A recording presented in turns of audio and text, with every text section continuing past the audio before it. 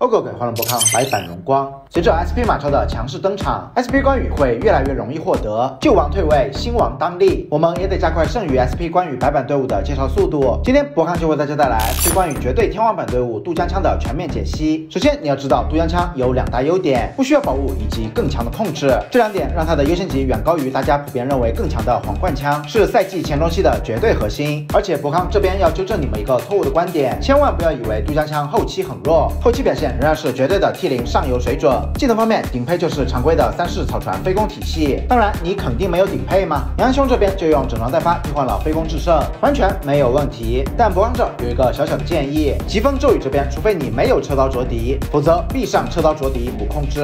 战点方面，SP 关羽全武，SP 黄甫松至少四十三速全桶，SP 吕蒙全桶。兵书方面，SP 关羽百战提高发动概率，SP 黄甫松点出速战一速进化，SP 吕蒙博康还是习惯后发先至加升级现手。打控制装备方面，SP 关羽武圣，SP 吕蒙援助踩踏，但显然没有也没事。T 零天花板降配空间就是大。那接下来我们就通过战报来分析一下队伍的优劣势。首先当然是连川战报的展示。博康已经说了很多遍了，千万不要怀疑白板 SP 关羽 T 零队的连川能力。SP 关羽早就超越了麒麟弓，成为了白板队伍的绝对天花板。然后你肯定会说不对，SP 关羽怕麒麟弓。博康只能说杜江枪面对麒麟弓是所有 SP 关羽队伍中表现最好的，原因在于 SP 吕蒙。也可以反手控制姜维和庞统。渡江枪的另外一个优点是自带净化，SP 黄甫松可以净化主将，SP 吕蒙可以净化自己，所以队伍在面对关关张这样的控制队时表现格外出色。至于其他的中慢速队，渡江枪基本都可以战，而且呈现出回复越多战功越多的格局。速攻队方面，由于 SP 黄甫松的全体减伤，整体表现绝对优秀。当然了，偶尔遇到当风太史慈是个面，也都合情合理嘛。